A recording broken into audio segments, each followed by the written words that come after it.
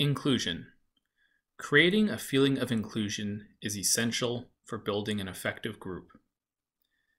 Making sure each member gets to know each other will help build a sense of inclusion and make them say things to themselves like, I belong here.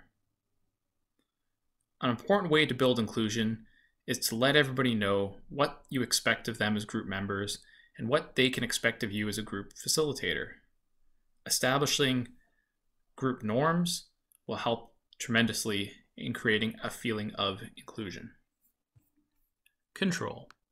Each member is interested in figuring out how much she or he can influence or control the group, and how much the group can control his or her actions. Therefore, the group requires some agreement on the structure of problem solving and decision making. For example, the group will want to come together and decide for how long and at which times breaks will occur for the group throughout the day. By including everyone in this decision making process on when the breaks will happen, it will increase feelings of inclusion and ultimately make people feel safer in the group. Cohesion and connection. Building cohesion and connection in a group is the main task of almost all the skills employed by a group leader. Encouraging group members to accept individual differences will allow for roles and leadership to shift among the group members and help build understandings amongst each other when they're working in different group tasks and different situations. Members in the group will feel more secure and have a level of trust, allowing for more feelings to be shared with one another.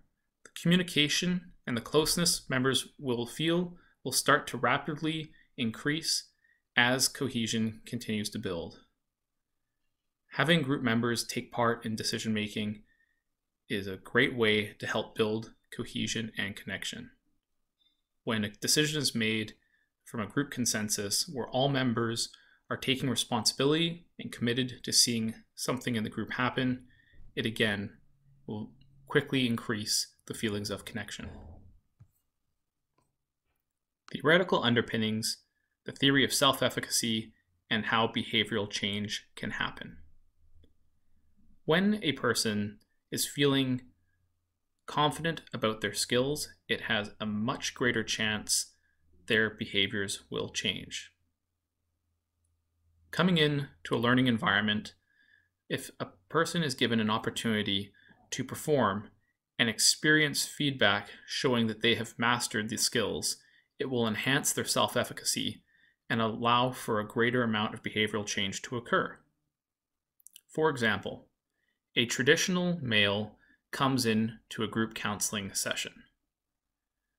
This person has been brought up in a society and a family life that highly values stoicism and suppression of their emotions to get through tough situations. This group member has taken the learned behavior of suppressing their feelings and applied it to all walks of life. It's made them very successful in their business career. However, when it comes to family relationships, their wife often describes them as being emotionally distant and unable to connect. The group member has felt self esteem go up because they've been rewarded by their family and their work environment for suppressing their feelings, yet it's causing conflicts in their life that's led them to come to group counseling. Simply telling them to start talking about their feelings more will not affect the desired behavior change of opening up to their spouse. Instead, giving this group member a chance to practice sharing what's going on inside for them in a small but gradual way and getting feedback from other group members will help them feel more confident and feel that they've started to master the skill of expressing what's going on inside for them. This will lead to more self efficacy, more self esteem around the skills of sharing, ultimately leading to a more long lasting behavioral change. The Johari window. This is a tool that can help for shared discovery. It allows a person to disclose more about themselves and learn how receiving feedback from others can lead to greater understanding. Let's start in the top left box in blue. This open free area includes things, feelings, thoughts, ideas a person has that are known to themselves and known by others. For example, if a person is speaking English, they know themselves that they're capable of speaking the English language. Other people watching them will also understand that they can speak English. Moving to the bottom left. This hidden area are things only known by a person themselves and not known by others. For example, a person may have gone to school in another country. Others looking at this person might not know that about them and may assume they've been educated where they currently live. Only by a person self disclosing to other people that they attended school in another country will other people know this about themselves.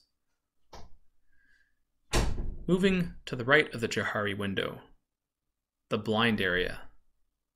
These are things unknown by a person, but often known by others. For example, a person may be a very good listener, but they've never been told that by anyone. By people within a group context, giving feedback that they experience that person as a very good listener will help the person understand something about themselves. The point of the Johari window is to demonstrate as group members disclose about themselves and receive feedback from other group members, it will increase the area in the middle of shared discovery, where a group member is learning more about themselves and how people witness and experience them, and group members start to learn more about the unknown areas of a group member as they self disclose. The last box in the bottom right is the unknown area. This is the area where a group member is not aware of themselves and others looking inward are also unknown. A goal of a cohesive and smooth group is to have group members decrease their unknown areas as much as possible and create more opportunities for shared discovery. This can greatly help a person's self esteem, feeling of inclusion, and safety in an effective group.